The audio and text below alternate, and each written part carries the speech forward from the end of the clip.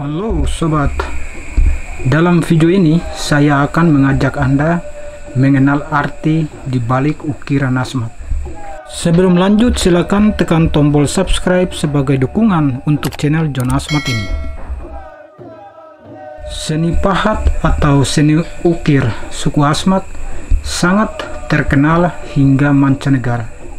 Sejak tahun 1950-an, banyak antropolog dan kolektor barang seni dari Eropa dan Amerika melakukan perjalanan ke wilayah selatan Papua ini untuk melakukan penelitian dan membeli ukiran Asmat.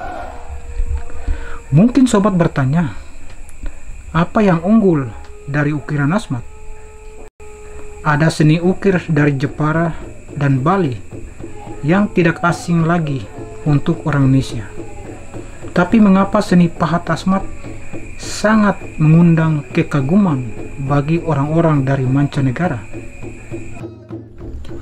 Pertama, seni ukir asmat merupakan representasi dari filosofi dan religi suku asmat. Untuk unsur ini akan saya bahas dalam konten lain. Tetapi sederhananya, sebuah ukiran asmat dibuat oleh sang pengukir untuk menampakkan atau mewujudkan roh leluhur yang akan terus menjaga dan melindungi sang pengukir dan keluarga sekitar. Kedua, ukiran asmat berkaitan erat dengan pelaksanaan ritual adat. Patung-patung leluhur diukir dalam ritual adat dan menjadi media utama ritual tersebut.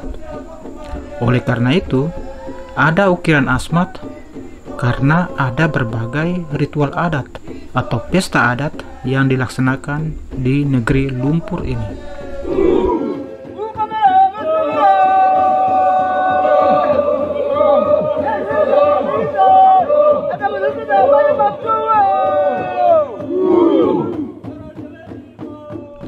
Ketiga, bila seni ukir Jepara, Bali, dan kebanyakan seni etnografi lain menggunakan pola dan gambar yang dibuat terlebih dahulu sebelum mengukir, maka pengukir atau dalam bahasa asmat disebut woipits langsung mengukir di media kayu tersebut.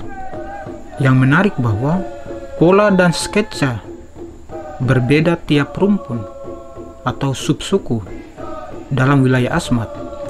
Bahkan pola dan gaya seni pahat selalu identik dengan pengukirnya.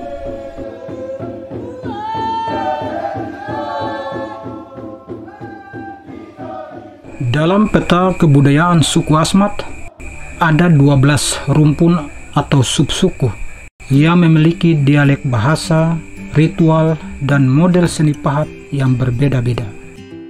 Yang Anda saksikan saat ini adalah para seniman dari rumpun Betsbub di wilayah distrik Aceh yang unggul dengan gaya relief dan pola yang diukir tembus di kedua sisi media kayu yang diukir. Untuk mengetahui lebih detail arti di balik ukiran asmat, khususnya untuk wilayah ini, maka saya mengajak sobat bertemu seorang seniman suku asmat asal rumpun Betsbub. Nama saya adalah Paulus Pas, distrik Aceh, kampung Aceh. Ini saya ukir tentang cerita Borpit dengan Tewerut. Tewerut dia pegang sagun noken dengan dia punya alat-alat untuk pangkur. Setelah itu dengan dia punya alat untuk ini belah sagu itu. Terus laki Borpit ini dia pegang alat itu dengan busur alat panah mau ke dusun dalam hutan dusun. Ini bambu bambu lumpur. Ini baru pucuk sagu. Ada burung cendrawasih sama ada burung orang bilang asmat burung ini pombo hitam pari. Terus ini perau orang asmat bilang ci saya kerja selama satu bulan. Satu bulan satu minggu. Terus bahannya ini orang bilang kayu besi tapi orang asmat bilang pas. Dan selama saya ambil satu bahan ini tidak ada orang yang bantu. Selain saya bela dengan kampak saya sendiri kerja ambil dari hutan taruh ke rumah. Saya mulai kerja dari sini sampai manusia dua ini sampai di sini. Saya istirahat satu minggu. Habis itu saya lanjut lagi di sini sebelah lagi sampai perahu ini jadi.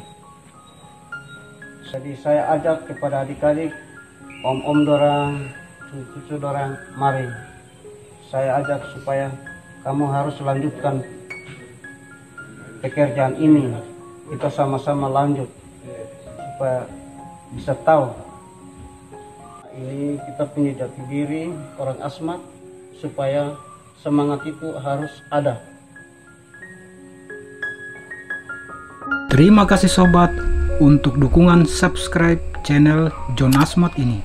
Sampai jumpa di video selanjutnya.